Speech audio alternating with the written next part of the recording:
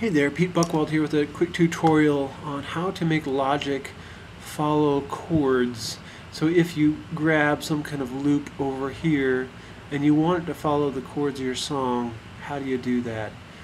Um, the easiest way I found to do this is to have some kind of MIDI keyboard hooked up before you do this and to be able to play the chords you want just in root position, whole notes. Um, so if you can do that, that'll help immensely. So let's say I want to write a song and I want to involve mandolin. Maybe for the final production we'd have an actual mandolin player, but at least for the, the songwriting process, let's say we just want a basic sound like this. It makes me feel so cheerful. So drag and drop it in here. I'm not going to import the tempo, tempo information, thank you.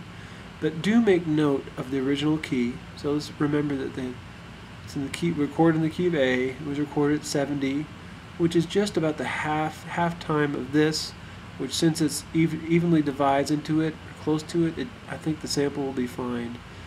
But it it can get odd if the the samp the key and the tempo are really far off, or can't be easily divisible. All right, so there's a mandolin. Let's grab some kind of bass sound.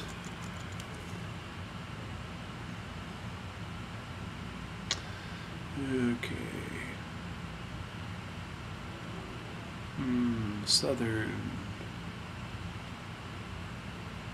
Spy bass. She spy.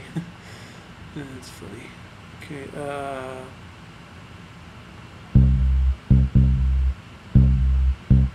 Alright, this is to be MIDI. Let's grab that. Key of C. Tempo's 110. Alright, so it, it should work as well. Even though it's green and MIDI, it, it should still apply. So we'll hit the letter O, that will close our right hand window.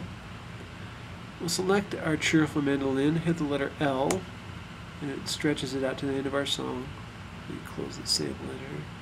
Select the southern, and then letter L. Okay, so here's what they sound like together. Great, they're just going to keep going on that chord forever. What happens if we open our global tracks into this triangle?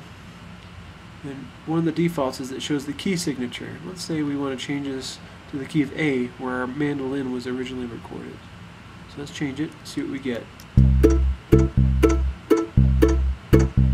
Huh.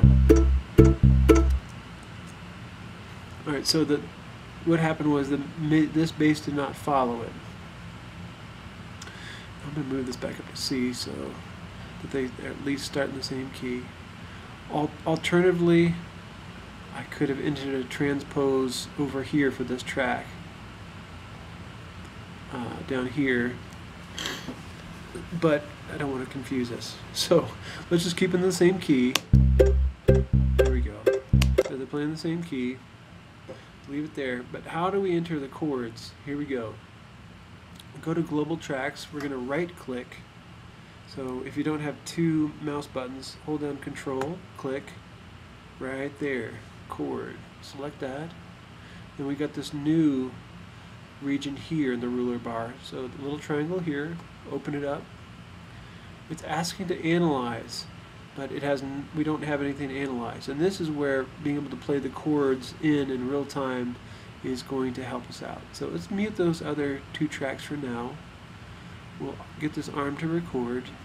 We'll open up this little keyboard chordy piano. Now let's go and start recording. Just get some chords in.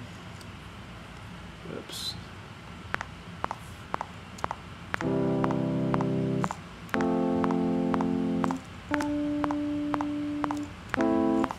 goofed up, shoot. Again. Keep it simple.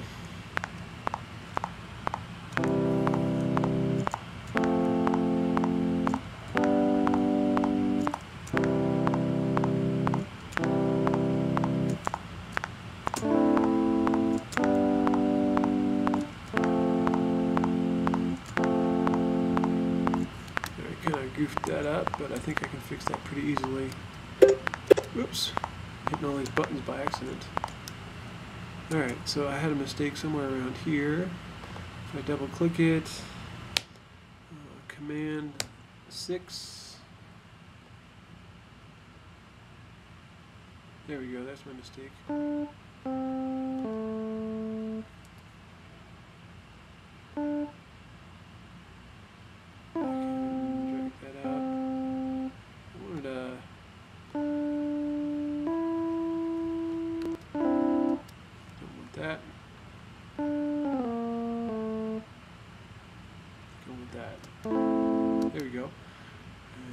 Good as new.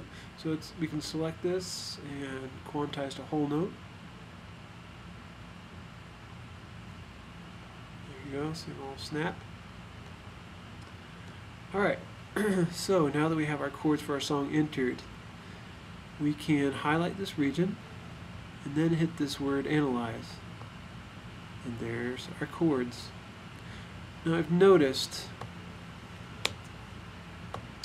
that sometimes it takes a little while for these chords to kick in to have these follow that.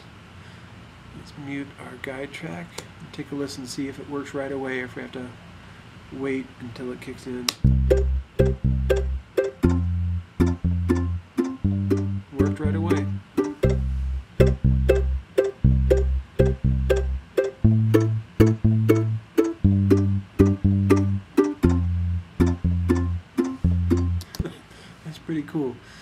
Right, so that in a nutshell is how to get uh, these audio files and even the MIDI files to, to follow your song.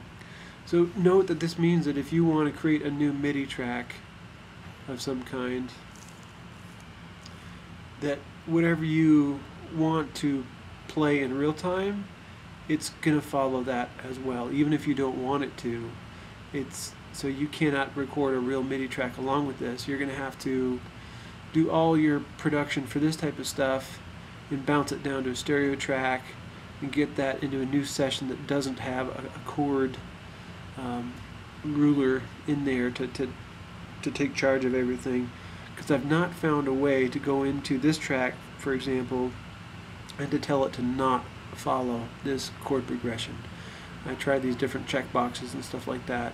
So if somebody knows how to do that, that would be great information for us. Alright, this is Pete Buchwald signing off. I hope this has been helpful.